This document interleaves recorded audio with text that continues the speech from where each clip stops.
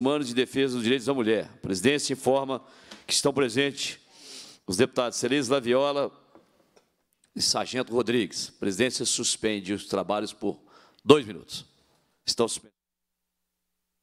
Esta reunião se destina a prestar informações sobre a gestão da Secretaria de Estado de Justiça e Segurança Pública, SEJUSP, em 2022, no âmbito do Assembleia Fiscalista, considerando o período de 1 de janeiro até o presente momento, e a discutir e votar proposições da comissão. A presidência registra e agradece a presença do Dr. Rogério Greco, secretário de Estado de Justiça e Segurança Pública. A presidência também gostaria de registrar a presença da Ana Luísa Silva Falcão, subsecretária de Gestão Administrativa, Logística e Tecnologia da Secretaria de Estado de Justiça e Segurança Pública. Muito obrigado pela presença, Ana Luísa. Flávia Santana Santos, assessora de comunicação da Secretaria de Estado de Justiça e Segurança Pública. Muito obrigado, Flávia. Ana Clara Pinto Coelho Amaral, assessora parlamentar da Secretaria de Estado de Justiça e Segurança Pública. Muito obrigado. Está o nome do Samir também. Também a presença do doutor Samir, aqui representando a Secretaria de Estado de Governo. Registrar a presença do ilustre vereador Cabo Alberto Dias Valério, vereador da Câmara Municipal de Varginha, que hoje comparece, é, secretário e ilustre deputada Celisa Viola, para acompanhar os trabalhos do Assembleia Fiscaliza, uma vez que o vereador tem intenção de também levar o mesmo formato para ser apresentado aos vereadores à Câmara Municipal uh, no município de Varginha. O vereador faz muito bem, né, secretário? Nós tivemos aquele episódio na cidade de Varginha, que se não fosse as nossas forças de segurança pública integradas, atentas, antenadas, acompanhando sistematicamente, fazendo a segurança pública, eu diria, é, de forma brilhante, nós não teríamos alcançado aquele resultado tão positivo e que, graças a Deus, aqui em Minas nós podemos respirar em paz por termos forças policiais tão atentas e tão compromissadas com a segurança do cidadão. Presidência, tendo em vista a organização dos trabalhos, comunica aos parlamentares e aos convidados que os atos desta reunião obedecerão as seguintes normas e procedimentos. 1. Um, o secretário de Justiça e Segurança Pública, Rogério Greco, disporá de até 30 minutos para sua exposição. Na sequência, será concedida a palavra às deputadas e aos deputados nos termos da deliberação da mesa 2711 de 2019, na seguinte ordem. 1. Um, presidente da reunião. 2. Presidente das comissões participantes por ordem de inscrição. Três membros das comissões participantes por ordem de inscrição. Quatro líderes por ordem de inscrição. Cinco membros da mesa por ordem de inscrição. Seis demais parlamentares por ordem de inscrição. Três parlamentares que desejarem fazer uso da palavra podem se inscrever pessoalmente junto à assessoria da comissão ou pelo chat do Zoom. Quatro, cada deputado poderá fazer uma interpelação pelo prazo de três minutos. Cinco, após cada interpelação, a autoridade estadual disporá de cinco minutos para respondê-la. Seis, após a resposta da autoridade estadual, o deputado que o interpelou disporá de dois minutos para suas considerações finais. Sete, no decorrer da reunião, as deputadas e os deputados poderão apresentar na Comissão de Segurança Pública, através da plataforma Silege ou pessoalmente, requerimentos contendo recomendações referentes ao tema abordado, que serão deliberados ao final desta reunião. A presidência registra e agradece também os os senhores e as senhoras, e parece que são excedentes aqui do concurso, são excedentes, aprovados, depois eu vou pedir aqui a nossa assessoria que, que registre de forma mais é, detalhada, aprovados no concurso da Polícia Penal. É isso mesmo. Estão em fases do concurso Bom, ah, está suspenso, entendi. É, está certo. Houve ação judicial.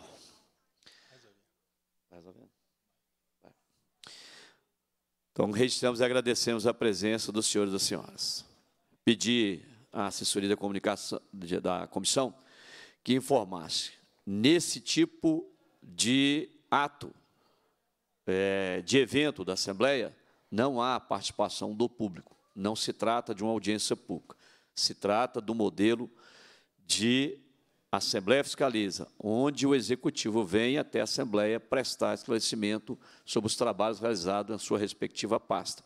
Não há participação de convidados, apenas dos parlamentares e do convidado. A presidência novamente agradece a presença do nosso secretário Rogério Greco e passamos a palavra ao senhor, que disporá de até 30 minutos para as suas considerações e apresentação uh, das informações. Secretário, o senhor tem a palavra.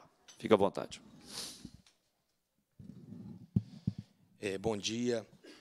Eu cumprimento meu querido amigo, deputado Sargento Rodrigues, presidente dessa sessão, minha querida amiga também, deputada Celise Laviola, é um prazer enorme estar aqui nessa última sessão do ano. Ok, falo sim. Cumprimento a todos aqui que estão participando também dessa essa Assembleia Fiscaliza. É a última desse, desse ano, é a última desse, desse mandato, nosso primeiro mandato do governador Zema, e é importante que a gente realmente preste contas.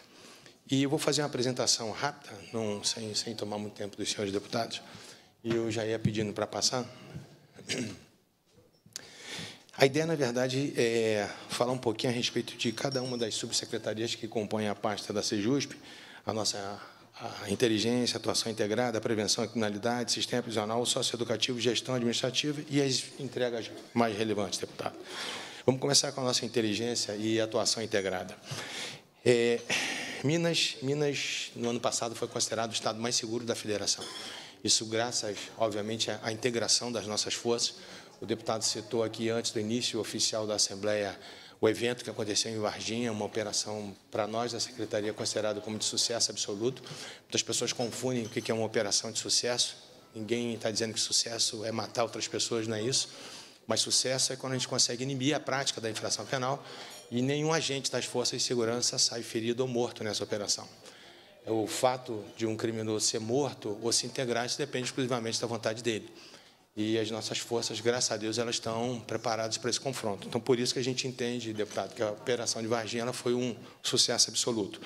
É, de 2019, houve uma queda na redução de crimes violentos de 48%, em comparativo 2020, 22%, a 21, 2,16%, e esse ano foi uma redução, também obtivemos uma redução um pouco menor, mas de quase 3%.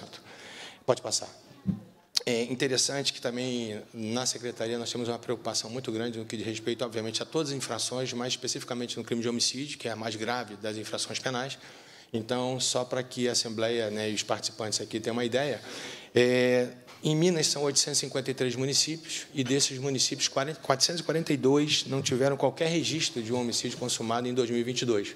Ou seja, isso para a gente da segurança também é muito importante. Isso quer dizer que mais da metade das cidades mineiras não registraram nenhuma ocorrência no que diz respeito a um crime de homicídio consumado. Pode passar. É, nós falamos das, das, nossas operações integradas e desde que eu cheguei à secretaria, uma das minhas é, maiores preocupações foi realmente com a integração das forças. A gente sabe, deputado, que na guerra o que vale mais é quem está ao seu lado na trincheira. Então, não importa se é Polícia Penal, não importa se é Polícia Civil, Polícia Militar, PRF, PF, Socioeducativo, todos nós fazemos parte da segurança pública, é isso que a gente tem que entender. Então, quando a gente faz essas operações integradas, e vocês aqui da Polícia Penal vão participar também, quando a gente faz essas operações, todas as forças realmente se integram na pista. Então, é bacana você olhar e ver todas essas forças unidas, integradas, irmanadas. Nós tivemos, em 2022, 27 operações. E uma coisa que para a gente foi muito importante foi também a integração da Marinha nessas operações. Então, embora Minas não tenha mar, né, só falta aqui o nosso mar, mas nós temos aqui uma das maiores redes fluviais. Então, os rios são muito importantes. A gente percebeu, até em muitas ações do, do novo cangaço, que muitas vezes, deputados, quando aconteciam ações do novo cangaço, muitas vezes a polícia não conseguia chegar. Por quê? Porque a estratégia inicial desses criminosos era justamente ter uma lancha à espera em algum rio e eles embicavam né, com as suas caminhonetes, a polícia ficava fazendo cerco nas rodovias e não achava. Então a gente começou a perceber também que essas ações se davam pelos rios de Minas. E aí a gente começou a investir e hoje a Marinha ela faz parte da nossa integração. Então, nós já fizemos uma operação integrada com a Marinha, que foi um sucesso, também foi a primeira, nós pretendemos fazer muitas outras também. Pode passar. É, falando de Novo Cangaço, a gente tem dados aqui para a gente muito relevantes. Em 2016, nós tivemos aqui em torno de 250 ações do Novo Cangaço em Minas Gerais. No ano passado, nós conseguimos reduzir esse número para cinco, com, com essa operação de sucesso em Varginha, e esse ano, infelizmente, mais para a nossa felicidade também, por mais paradoxal que isso possa ser, uma única ação do novo cangaço. Então, houve uma redução significativa de 99% das ações do novo cangaço em Minas Gerais. E é muito importante que a gente entenda, que a gente dê essa mensagem, porque Minas não aceita nenhum tipo de criminalidade, principalmente uma criminalidade tão, tão, tão, tão brutal como é a praticada por esses, por esses criminosos que, que atuam no novo cangaço. Pode passar. Isso aqui são as chamadas né, que acontecem na nossa, no nosso CICC, depois vai ficar à disposição de vocês. Pode passar. Nós temos também uma, uma base integrada de segurança pública, o BISP, e nós já fizemos uma assinatura de contrato para hospedagem né, dessa base integrada no valor de aproximadamente 1 milhão e 700 mil reais. E essa base integrada ela tem contribuído muito para a nossa inteligência. Pode passar. Foi criado também já há algum tempo o chamado programa Procura-se, e é um programa também de sucesso, onde os criminosos de mais destaque eles fazem parte de uma relação, fazem parte de uma lista selecionada pela própria Sejusp e começa uma, uma, uma atividade mais intensa de procura desses criminosos. Então, tem, também tem sido um outro programa de sucesso e já, já desses alvos prioritários, né, 13 já foram recuperados. Pode passar. Aqui, para o público que está aqui presente, eu acho que essa é a parte mais interessante, a parte dos concursos públicos. Né? Eu sei, eu sou concursado também, passei do concurso do Ministério Público em 89, nenhum de vocês era nascido ainda, mas, mas quando eu entrei no MP em 89, eu, eu, eu, entendo a angústia do concurseiro. Eu sei que a gente quer ser chamado, a gente quer logo estar né, tá começando as nossas atividades, com as nossas funções. Então, um concurso de auxiliar educacional é, nós temos aqui 12, foram oferecidas 211 vagas, já está na fase de nomeações e capacitações. É, o agente de segurança socioeducativo também, o edital já foi elaborado, são 270 vagas, e a prova foi reagendada para fevereiro, porque solicitaram à secretaria, porque contavam que a prova é, é, cairia justamente no dia da final do campeonato mundial e todo mundo contava com o Brasil e mudei o Brasil e afinal de contas o concurso acabou sendo atrasado por negligência do Brasil. É, concurso da Polícia Penal, que é o que mais interessa a vocês aqui no momento. Foram, foram ofertadas 2.420 vagas. É, todas as etapas, basicamente, do concurso já foram, já foram realizadas. E houve uma ação na Justiça proposta pelo Ministério Público e conseguiram uma liminar suspendendo o início, que seria agora da nossa, da nossa academia, que começaria agora no mês de fevereiro. É, só, só já para antecipar, já houve recurso da Secretaria contra essa liminar que foi concedida e a gente, a gente torce né, e acredita que essa liminar deva ser derrubada e que a gente continue com a nossa é, e vocês, se Deus quiser, vão participar da, da, academia a partir de fevereiro. É uma decisão do Poder Judiciário, a Secretaria não pode afirmar absolutamente nada, porque ainda não está decidido, mas já foi, já foi interposto o recurso com relação a essa liminar. É, com relação aos efetivos da Polícia Penal, nós temos 13 mil hoje, 13.782, obviamente que a gente precisa de muitos servidores, são 1.174 agentes né, de segurança do socioeducativo e 2.324 servidores de carreiras administrativas. Pode passar. É, desde, desde que nós assumimos a secretaria também, deputados, isso para mim sempre, sempre foi muito importante, a capacitação do servidor.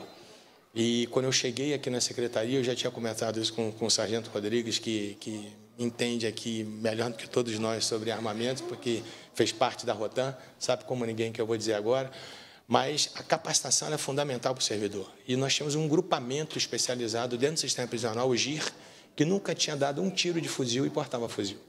Então, quando eu cheguei, essa era uma realidade. Então, a gente capacitou todo o GIR e, desde então, a gente vem capacitando os servidores com inúmeros cursos assim que eu considero, a minha equipe considera muito importante. Então, foram de janeiro até hoje, até o mês de novembro, são 205 cursos de capacitação. Só para que vocês tenham uma ideia, foram quase 11 mil servidores capacitados. Eu acho que nem a Polícia Militar e nem a Polícia Civil capacitaram tantos servidores como a gente tem feito num, num espaço curto de tempo, numa tropa de 14, hoje 14, 15 mil pessoas, quase toda a tropa ela foi capacitada em diversos cursos. Então, nós fizemos, além disso, também seminários importantes. Então, um seminário que eu considero muito importante, um seminário para além das fronteiras, falando de segurança pública, né, de intersetorialidades, um seminário de atividade policial, da sobrevivência à liderança e boas práticas também com relação ao antiterrorismo. Muitas pessoas no Brasil têm um conhecimento equivocado que no Brasil não, tem, não, não existe terrorismo. Só diz que não existe terrorismo no Brasil quem não conhece o terrorismo no Brasil. O Brasil é um fornecedor assim de, de, de, de mão de obra terrorista que é uma coisa assustadora. Nós temos na tríplice fronteira é, é, é a, a, como que eu posso dizer o, o, a capacitação financeira do terrorismo me, me fugiu a, o financiamento ao terror. Então isso acontece na tríplice fronteira acontece literalmente todos os dias. Aqui no Brasil não acontecem os atos finais do terror, que são as explosões das bombas, aquela coisa toda, mas toda a captação, o financiamento, tudo ocorre no Brasil. Então a gente tem que estar ligado, isso acontece dentro do sistema prisional, vocês que vão atuar dentro do sistema prisional, a gente tem que ter um cuidado muito grande, deputada, porque o sistema prisional, eu, a minha tese de doutorado foi sobre o sistema prisional. E eu, no Brasil, hoje, atualmente, nós temos em torno aí de 90 facções criminosas. Dessas 90, eu não conheço nenhuma que tenha sido criada fora do sistema prisional. Todas elas foram criadas dentro do sistema prisional. Então, merece uma atenção muito especial, por, principalmente por conta disso. É um foco criador de facção criminosa. E desses, pode passar. É, e nesses cursos, né, é, nós temos aí, no 2021, foram 3 mil, quase 3.800 servidores capacitados, 2022, 8.600. É, um, uns destaques importantes para nós da segurança são esses cursos de atendimento pré-hospitalar, que a gente chama de APH de combate, que é muito importante isso, principalmente para o policial penal que lida diretamente com o preso. qualquer momento você pode sofrer um ataque com uma lâmina, com algum instrumento contundente, e a morte por sangramento é muito comum. Então, o policial tem que estar treinado para a utilização de equipamentos que vão salvar, literalmente, a vida desse policial. Então, são, e até a gente quer depois fazer até um pedido aqui à Assembleia que se transforme realmente numa legislação obrigando a toda a segurança pública a ter pelo menos um kit básico de APH. De atender. É, é, o que acontece nos Estados Unidos, é muito simples, um torniquete. É, é inadmissível você ter um policial, por exemplo, que não use um torniquete, não tem um torniquete. Secretário, só um, peço licença, o senhor. Uh, Elizabeth, por gentileza, é, o secretário trouxe aqui uma sugestão muito importante, que ela deve ser anotada pela consultoria, e nós temos uma vasta legislação hoje que trata aqui da política estadual de segurança pública. Inclusive, eu sou autor das, das primeiras que aconteceu aqui, secretário. Uma 13968, a 13772, que são legislações de 2001 ainda. É, mas nós temos uma outra que trata do equipamento de proteção individual, que também é uma lei de minha autoria, que é a 18.015, essa pode ser alterada, 2010. É, a sugestão para que a consultoria já elabore um, um projeto de lei é, que traga aqui a sugestão do secretário, porque realmente é uma sugestão muito, é, muito necessária, muito acertada, para que a gente transforme isso em política pública né, de Estado, que fique permanente. Né? A nossa força policial está sempre é, em contato. Ora, em contato com o próprio colega, né, eu mesmo já tive, secretário, numa troca de tiro. Eu tive um patrulheiro que ficou baleado e ficou paraplégico numa troca de tiro, dia 14 de março de 93, aqui na favela Ventosa. Então, a gente sabe o que é isso. Então, a gente passou por isso e viu outros colegas ser baleados em serviço. É, então, o policial saber, conhecer é, e colocar em prática é muito importante, porque não só a vida dele, mas também a vida do, do cidadão, que as forças policiais estão em permanente contato. Então, a sugestão, é, eu queria que o secretário pudesse é, falar novamente, que a consultoria está ali anotando para a gente. Não, obrigado, deputado. E agradeço aí a gentileza. É, é, muito importante que um policial tenha um kit básico de APH, né, principalmente no que diz respeito ao, próprio torniquete. Se fosse um simples torniquete, já salvaria aí inúmeras vidas. Então, esse kit básico, incluindo o torniquete. É o kit básico que o secretário está falando. Ele deve ser levado nas viaturas, em serviço, ou nas unidades onde ele esteja e trabalhando. O, e o torniquete no fardamento policial. O torniquete no fardamento, né? É muito melhor que câmera. Muito melhor. muito melhor. Né? Esse é até um assunto, secretário, que nós vamos abordar no final aqui. Aham. É, é óbvio que não, não, não vai atingir inicialmente a Polícia Penal, mas a ação de governo, ao meu ver, é uma ação duramente equivocada. Muito equivocada. Vai encolher a polícia e o governo arrependerá amargamente lá na frente. Devolvo a palavra ao senhor secretário. Obrigado, deputado. Também outro discurso muito importante foi o alinhamento que nós fizemos com o Gírio, com o GETAP, o treinamento de Boris Kahn, canil e retenção e contra-retenção. Uma coisa que nós percebemos, deputados, é que muitas vezes o policial ele era morto com seu próprio armamento. Então, recentemente houve até um, um, um, uma fatalidade com dois policiais rodoviários federais. Uma pessoa na rodovia tomou a arma de um desses policiais e matou os dois. Então, são cursos que a gente entende assim para a nossa segurança pública como indispensáveis. O primeiro é o policial não perder o seu armamento e não ser morto com o próprio armamento.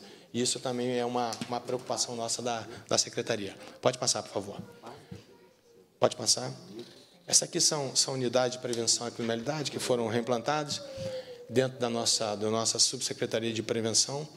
É, e esse programa aqui para a gente fica vivo. Ele é um, é um programa muito importante por quê? Porque é, a gente que lida com segurança pública, a gente tem que entender que de todas, de todas as políticas públicas que a gente vê, a melhor de todas elas diz respeito à prevenção.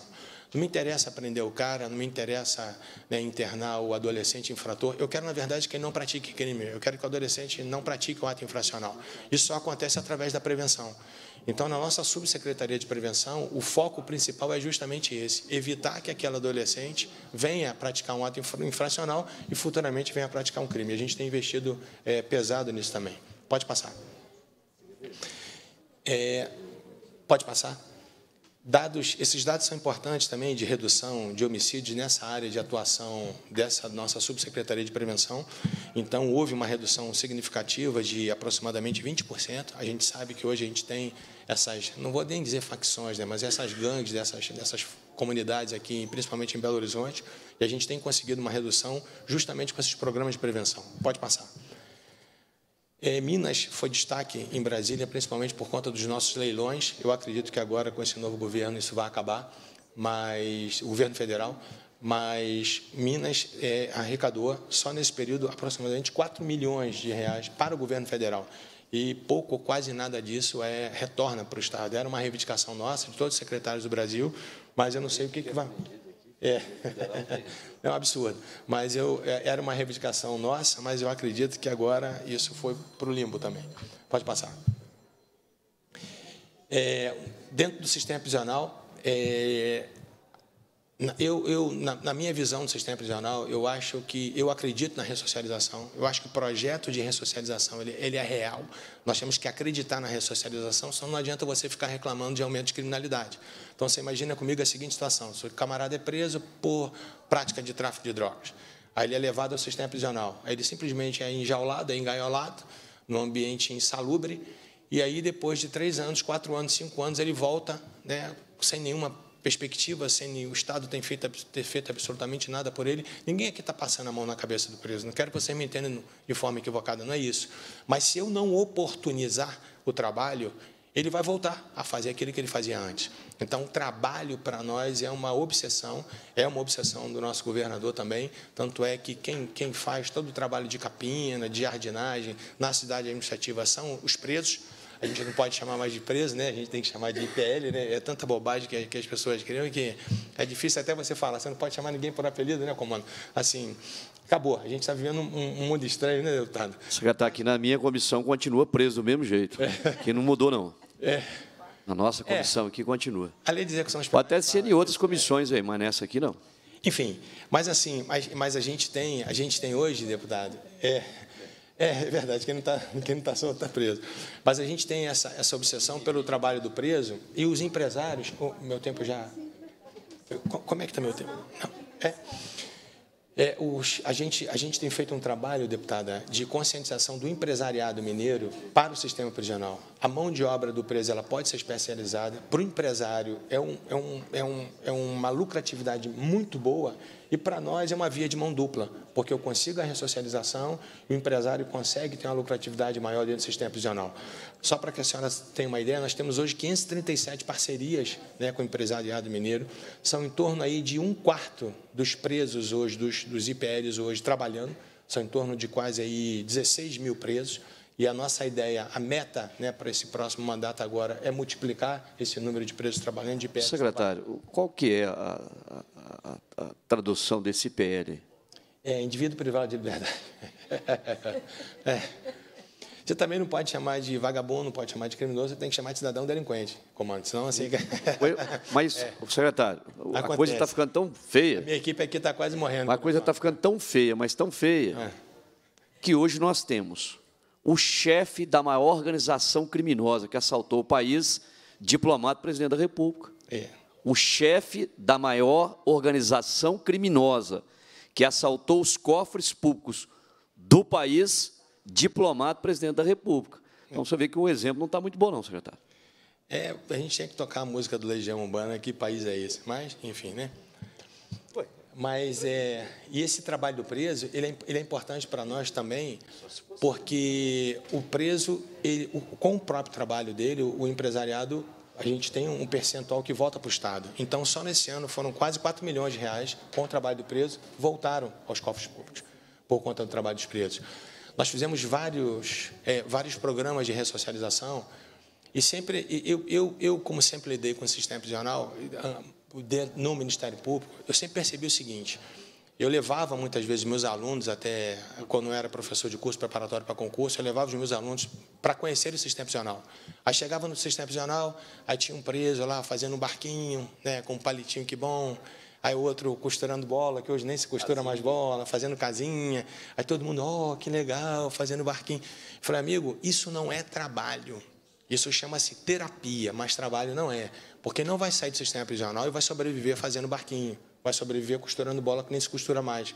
Então, por isso que a, a mentalidade da secretaria é o seguinte: a gente tem trabalho de verdade dentro e é o mesmo trabalho que esse preso ou IPL vai poder fazer lá do lado de fora.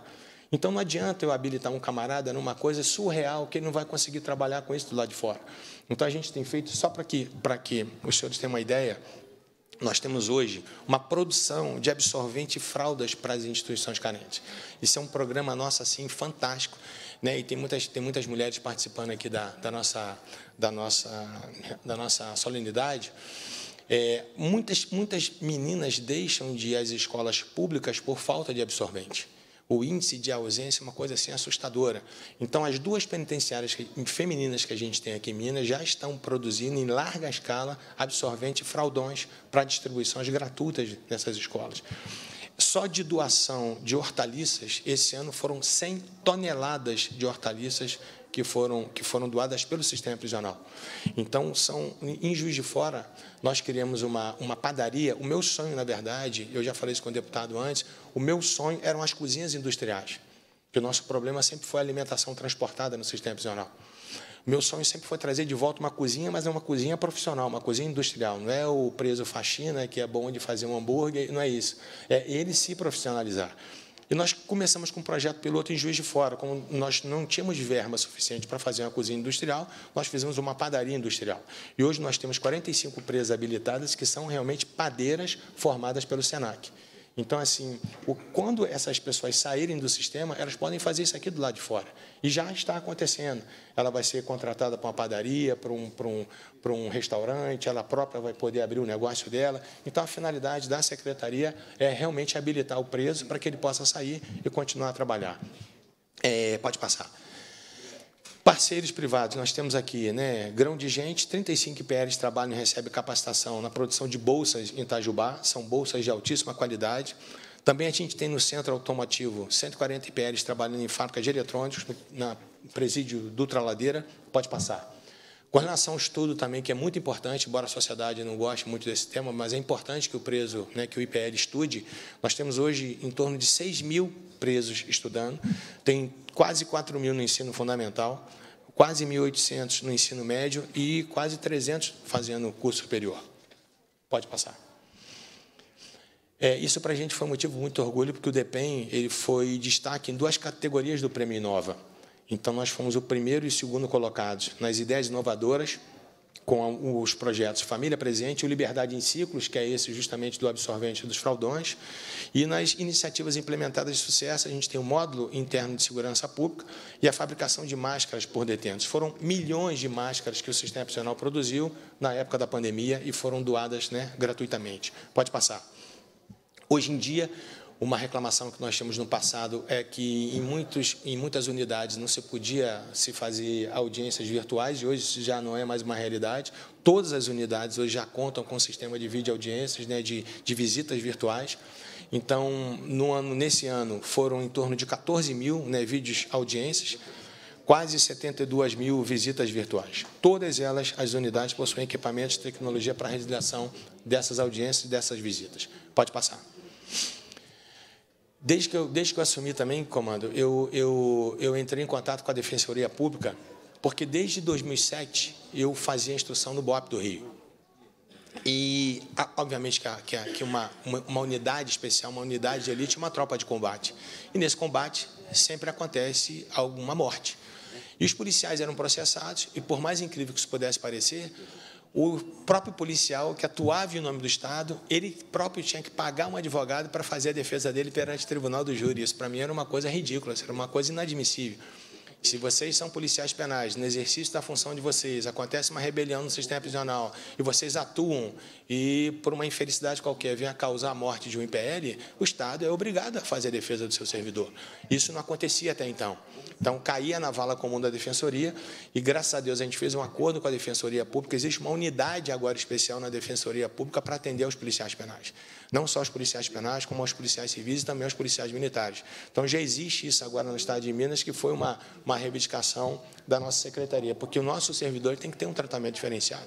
Eu não posso simplesmente deixar esse camarada em combate e, quando acontece alguma coisa, eu viro as costas e vou embora e ele que se vira. Né? Então, isso, graças a Deus, foi uma, foi uma inovação muito importante. Pode passar. Também havia um, déficit enorme no que diz respeito ao armamento da própria Polícia Penal.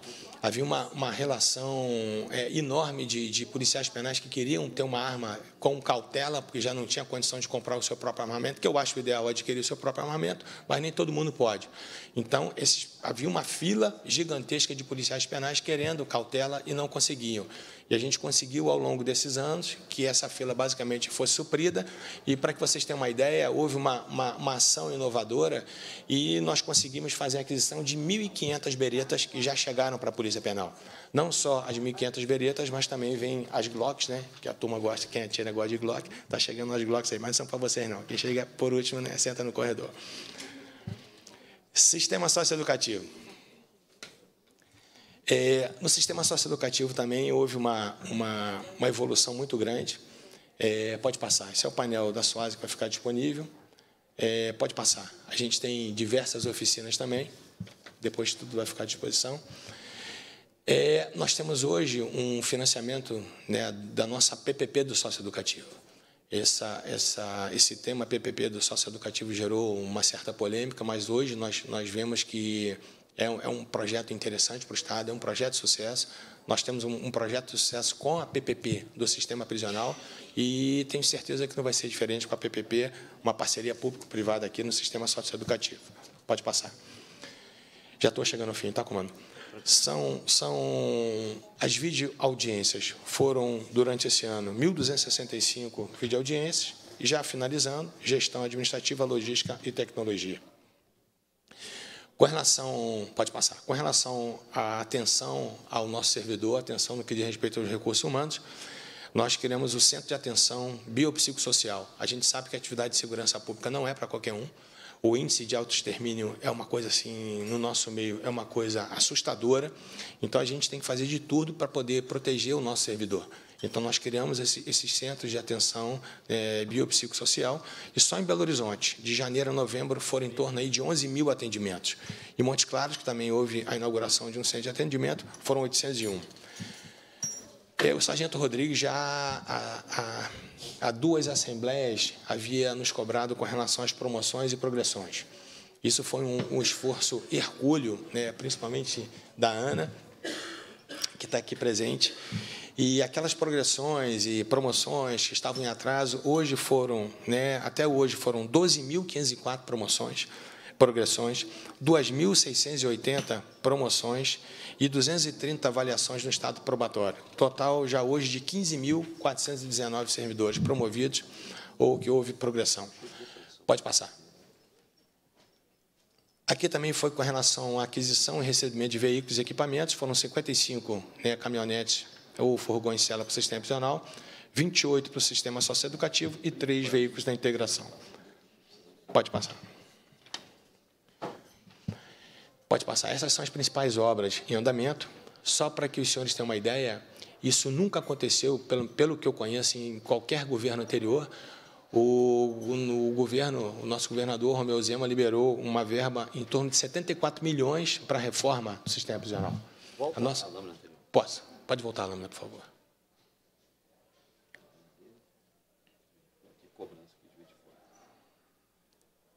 E até fica nessa que eu estou falando é dessa mesmo.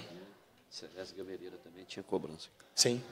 Então, são, são 74 milhões de reais que estão sendo destinados a reformas, né? obviamente que não consegue se reformar os 180, mais de 180 sistemas prisionais, mas a gente está com, com, com, priorizando aquelas que, que têm realmente uma necessidade de uma reforma imediata e a gente tem feito isso. Então, acredito que o sistema vai ter uma melhora significativa, uma, uma melhora substancial. Pode passar. Além disso, nós temos também essa, essas nossas já principais obras concluídas, né, na Nelson Hungria, no Hospital Psiquiátrico Jorge Vaz, que era uma, uma reivindicação do próprio Tribunal de Justiça, ele estava fechado, não havia uma, é, é, uma interdição formal do Jorge Vaz, mas realmente estava inabitável. Hoje, né, eu tive fazendo essa visita ao Hospital Psiquiátrico Jorge Vaz, e hoje, assim, ele realmente pode acolher qualquer pessoa que tenha sido absolvida e aplicada a ele medida de segurança. Acabou aquele problema que ali era um verdadeiro né, show de horrores. Isso é o de Juiz de Fora. Você é, tem que visitar, comandante. Tá uma coisa assim. É, nós chegamos oficial, senhor, o senhor lembra, sim, secretário? Sim, sim, sim. Sobre essa, essa demanda sim, lá de Juiz de Fora. Sim. Exatamente porque criava um, um transtorno enorme aí para sim. esse perfil né, de, sim. de apenado. É, e nós tínhamos, deputado, em torno de 150 né, presos no sistema prisional, absolvidos com medida de segurança, que era um perigo não só para ele próprio, como para os demais presos. Então, todos, já, já, para os agentes também, para todos, já estão sendo transferidos para o Jorge Vaz. Hoje, eu, eu faço questão até de, de, que a gente possa é, marcar uma visita juntos. É, hoje, mudou completamente o Jorge Vaz. Obviamente que ninguém quer ser internado no Jorge Vaz, mas, se precisar, né, é, vai ser internado com, com dignidade. Pode passar. Essas são as principais obras que estão sendo executadas aí pelo DR. Nós temos aí uma série de unidades a serem inauguradas, o BRA, Frutal, Itaúna, Alfenas, enfim. Então, a, a nossa expectativa para o próximo mandato ela é realmente muito boa. Pode, pode passar, a gente já vai para o final? Pode passar. Esses são os nossos fundos né, de investimento. Eu vou deixar à disposição as lâminas para os senhores deputados. Pode passar. E a gente, e a gente encerra com essa redução dos nossos índices aqui de, de criminalidade. E só, último slide, com relação à atenção ao servidor, dizer que, desde que nós chegamos, era uma, uma infelizmente, era uma, uma, uma reivindicação quase que absurda de um policial penal pela sua carteira funcional, que ele não tinha sua própria carteira de identidade funcional. Hoje já não existe mais esse problema. Nós temos tanto a carteira digital como a carteira física do policial penal. Os uniformes também, nós mudamos a, a, a, o fardamento da Polícia Penal. E não só mudamos o fardamento, mas foi a própria tropa que escolheu o seu fardamento. Quando eu cheguei, eles queriam impor um determinado tipo de fardamento, e eu falei que eu não era policial penal, eu vinha do Ministério Público, então não tinha autoridade para impor fardamento de ninguém. Então, nós criamos um site e houve uma escolha da própria Polícia Penal, e o fardamento ficou, honestamente, muito bonito. Muito bonito. Veio até um colega meu, não vou nem dizer o nome, nem o Estado, veio aqui, pegou o nosso fardamento, levou, colocou a sigla dele e disse que foi ele que criou o fardamento. Aí é covardia, né? Não vou falar porque é meu amigo, mas isso não se faz. Mas enfim, foram criados esses centros também de atenção biosocial, biosocial biopsicossocial que foram citados, e essa, senhores deputados, a, foram as entregas da Sejusp durante o ano de 2022. Eu agradeço a paciência a todos, muito obrigado, bom dia. Agradecemos, as palavras do secretário, Rogério Greco, e a gente percebe, secretário, eu comentava aqui com a, com a deputada Celisa Viola, é bom que a, Ana Luísa Silva Falcão, a nossa subsecretária, esteja presente. Eu comentava aqui com a deputada Celise. Quando os secretários, os chefes de polícia, vêm aqui, ou em outra comissão, né, fora da temática de segurança, em que providências estão sendo tomadas para resolver determinados problemas, o clima da reunião é completamente diferente. Completamente diferente. Um dos pontos que eu comentei aqui com a minha colega deputada Celise foi a questão das promoções. Eu não tenho nenhum e-mail no meu gabinete cobrando uma posição da comissão em relação às promoções internas. E nós tivemos problemas gravíssimos com promoções. Né? E, obviamente, eles se acumularam com o antecessor do secretário, que mais criou problema do que soluções durante o período que lá passou. Eu tenho esse, talvez pode ser defeito da minha parte, secretário, de não, de não fazer muita curva. Se ele está aqui comigo esse tempo todo, ela sabe como é que eu sou. Não, não tem jeito de você ser é, muito polido com um problema existente tentando tapar sol com a peneira. Então não tem como. Por mais que eu goste da atuação de um secretário de Estado, se o problema diz respeito à comissão, eu tenho dever também de mostrar que está falhando. Porque senão quem me elegeu vai falar assim: olha, o senhor está fazendo papel de quê aí nessa casa? Às vezes a cobrança pode ser mais dura, Sami, mas se você estivesse no meu lugar, olha, você foi eleito para poder fiscalizar. Você vai fingir que fiscaliza? Não dá para fingir que fiscaliza. Então, muitas vezes, a gente é interpretado como um deputado que é mais ferrinho de dentista, que cobra mais. É, mas, primeiro é o papel. Primeiro é o papel. Então, secretário, eu destaco aqui, óbvio, né, de toda a apresentação que o senhor fez, e aqui fazendo uso já é, como presidente da comissão, da parte da minha fala, enaltecer os vários acertos que foram feitos, né, é, nenhum chefe de polícia, nenhum secretário consegue resolver todos os problemas de sua pasta no período que ele está à frente. Mas se ele resolve vários problemas e entrega o bastão para o outro, Sim. já é algo que a gente precisa reconhecer e cumprimentar. É, várias a, audiências aqui que nós tivemos da Assembleia Fiscaliza, nós cobramos duramente o secretário. Cobramos. Essa questão das promoções, por exemplo, foi tema que problemas no judiciário, porque eles estavam tendo que judicializar as promoções. Isso traz uma agonia. E o pior que veio, e eu falei para o secretário, ele vai lembrar aqui. Porque a administração, Ana Luísa, sabia. E a Celise, que é servidora de carreira aqui da Assembleia, doutor Elcio, que está aqui com mais de 30 anos de Polícia Civil, está aqui acompanhando também, eu fui aprendendo, observando, como observador mais atento, e talvez o secretário, talvez comum e também do mesmo pensamento, que a administração pública, num geral, em todas as esferas e poderes e órgãos, ela tem um defeito gravíssimo de cultura organizacional, que o melhor quando chega uma demanda até a mesa, primeiro é o carimbo do não. Você sabe por quê, Sami? Que o carimbo do não, desse tamanho, né, enorme, aquele quadradão assim que fica na mão da mesa, de determinadas pessoas investidas no cargo público, porque quer ficar livre do problema mais, mais rápido. Então, o carimbo do não, na cultura da administração pública, doutor Elcio, é muito mais fácil. O cara bateu numa repartição pública, eu estou falando do cidadão, de uma forma geral. E isso é comum também entre os próprios servidores que procuram a administração pública. E eu não estou aqui tirando ninguém, não. Estou falando aqui que o, o legislativo está fora, não. Eu estou falando de todos. Todos. É muito comum um servidor bater aqui numa, no órgão da administração da Assembleia e o não vir primeiro. É mais fácil, Celise. E, eu estou falando esse do carimbo, secretário, senhor vai lembrar aqui. Se a Ana Luísa estava presente, ela vai lembrar.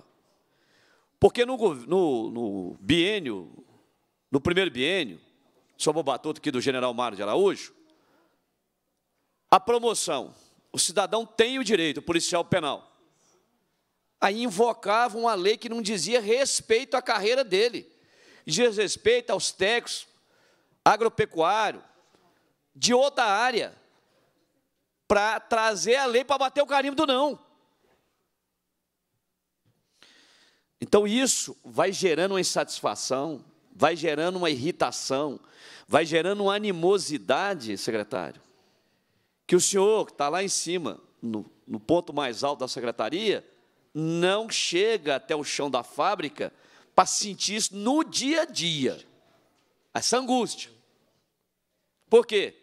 Porque nós, né, pelo fato de estarmos dentro da administração pública, falo nós todos, nós estamos, a, é, vamos colocar aqui, aprisionados pela, pelos princípios da administração pública, né?